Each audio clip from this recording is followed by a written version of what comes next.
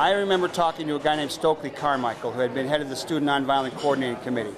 And I was at the Fillmore Auditorium in, in San Francisco, where they used to have big rock shows at the Fillmore.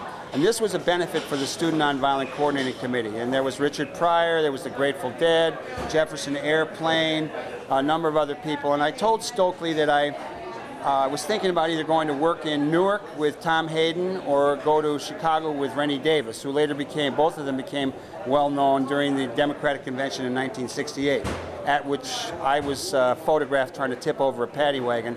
So ever since then, I've been.